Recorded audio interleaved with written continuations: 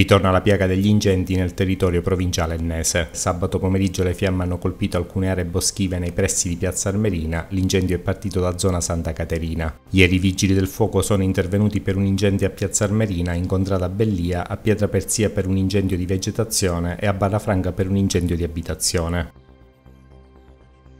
Garantire il servizio nido ai genitori lavoratori, nonostante le difficoltà finanziarie di questo bilancio 2022, è stata una priorità per la mia amministrazione e lo resterà. Con queste parole il sindaco di Enna Maurizio Di Pietro commenta le azioni messe in campo dalla sua amministrazione in tema di servizio nido. Con ragionevole certezza, spiega l'assessore alla pubblica istruzione Rosalinda Campanile, pensiamo di poter iniziare l'avvio del periodo estivo già nella settimana successiva alla prima di luglio.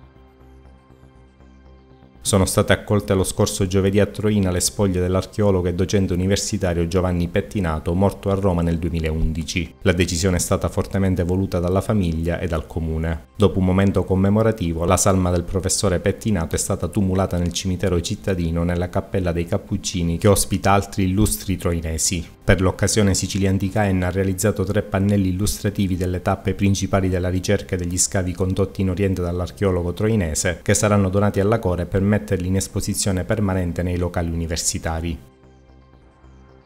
Un pulcino di falco ghebbio e quattro rondoni sono stati ritrovati e messi in salvo da alcuni cittadini che hanno contattato il WWF Sicilia Centrale per il loro recupero. E questo è il bilancio delle ultime settimane di attività dei volontari del WWF di Caltanissetta che si occupano di tutela della fauna selvatica.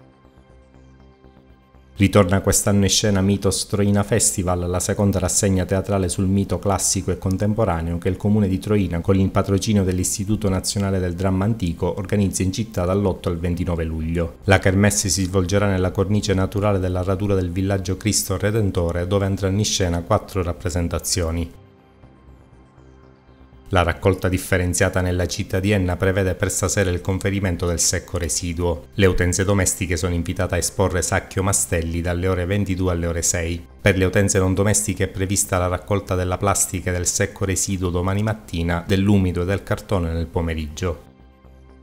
Per ulteriori approfondimenti visitate il sito ennalive.it. Per contattare la redazione scrivete a redazione chiocciolennalive.it.